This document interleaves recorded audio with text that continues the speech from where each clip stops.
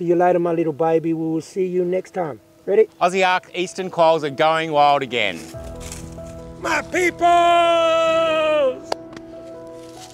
We're at a sanctuary called Bannockburn on the New South Wales coast to release some of our eastern quolls.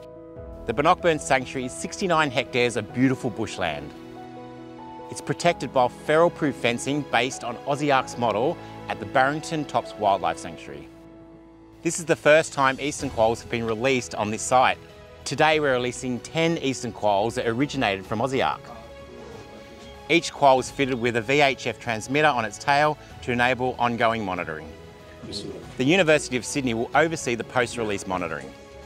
Yeah, we'll be here for years. Both short-term and long-term research here is, is incredibly important to understand its, the effect of these quolls in this ecosystem. The dream is to one, understand their ecological function in, in a land where they haven't persisted for decades, and two, to get them beyond the fence. You know, start to understand how we can move these animals outside and, and the importance of getting these animals outside of fences and, and back into mainland Australia.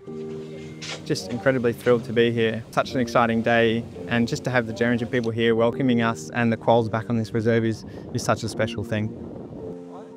Well, this land is like our tribal country. Our ancestors used to roam this land with these animals before they became extinct. Do you want to release a quoll? We've got all these different organisations working together for a lovely goal. Here you go, little girl.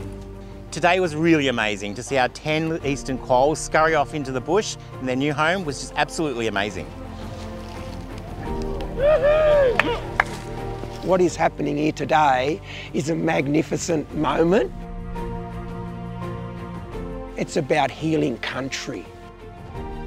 These little animals, these little quolls, haven't been on our country for over a hundred years.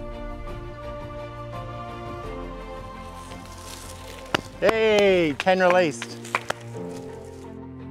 Today's release is another powerful step towards one day rewilding the eastern quoll to the mainland of Australia. It follows last year's historic release of our eastern quolls into Booderee Botanical Gardens.